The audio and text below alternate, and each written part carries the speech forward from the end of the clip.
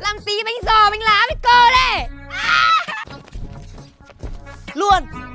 Đây nha, cô chuẩn bị này nước mắm này, tương ớt này, thìa này cho hai cô cháu mình ăn Chuẩn bị hết đầy đủ rồi nhá. Hôm trước mình quay cái video à, ăn sung thì nhiều người thích xem mình ăn quá Nên hôm nay mình ăn cái bánh giò này cho nó chất. Bánh này to thật. Tháng mình mua là 12.000 một cái. Đó. hai nghìn này là rẻ đấy. Nhưng mà bánh ở quê cô thì ăn to. Nên là Nên là Lắm lá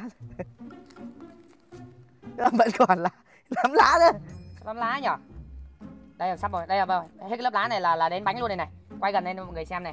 Hết cái lớp lá này là đến bánh luôn cho mọi người xem nhá. Vẫn còn cháu ạ. Ôi chết mẹ rồi. Sao mà lắm lá vậy Không mua của ai Mới mà, mới mà đi trên đường ấy. Đây, đây, đây, đây, đây, đây. Ôi,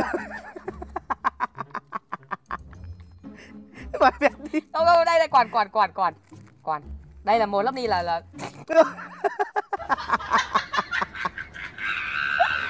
Còn cái gì vô Vô, là vô nhân rồi, vô nhân rồi Đây, đây, đây, đúng rồi, đúng rồi Còn cái Còn còn Bà một đó Biết không Biết không Mỹ hết mini là đến nhân rồi, đúng rồi, đúng rồi, đúng rồi, đúng rồi, đúng rồi. Hết cái lá này là đến nhân rồi mọi người ạ. Ôi trời. Khả năng là Mình Mình lá không Lừa. Ơ. Nó nhiều nhỉ? Cái gì đây? Rồi. Không có mùi gì cả. Thôi ăn được mà. Bọc Bọc Ừ. tiếng đồng hồ không được một miếng nào Đúng luôn. Ngon.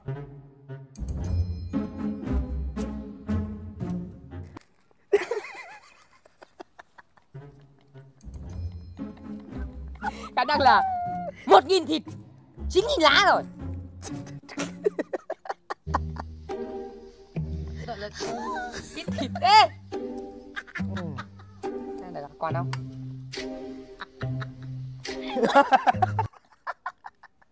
Kíp Hai cái bánh một đấy lá. Thôi, bà nào bán thế này, nhanh giàu lắm đây này. Về. Rồi trên gian đói mà Không được một cái miếng nào.